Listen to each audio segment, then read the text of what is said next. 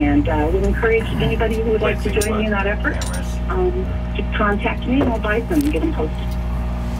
It's uh, an endangerment that I think is unnecessary You don't walk the dog. and would sure like it stopped the dog. for two minutes. and would appreciate support from the community to, to, to help with the solution. Thank you. I appreciate KDLG and I appreciate Open Line and, and thank you for being in Dillingham and, and offering up your time to have Open Line a, a possibility. Appreciate you. All right, thank you for calling. Good morning, you're on open line. Yeah, maybe that lady there should take hunter safety courses.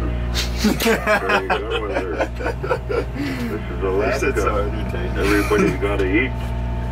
Everybody safety, gotta eat. you know. Hunter safety courses. Uh, everybody's got to cry about how they live around here. That's embarrassing.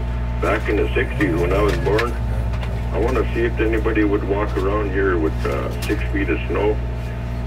But anyway, there's compliments and there's discretions.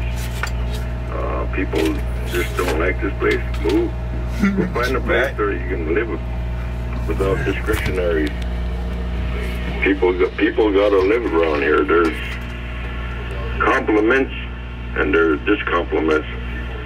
Discretionaries and discretionaries. So take care, guys. Don't know the word. Love Alaska. Dillingham is number one. Everybody's got to live. Discretionaries are untouched, and that's all. Goodbye. All right, thank you for calling.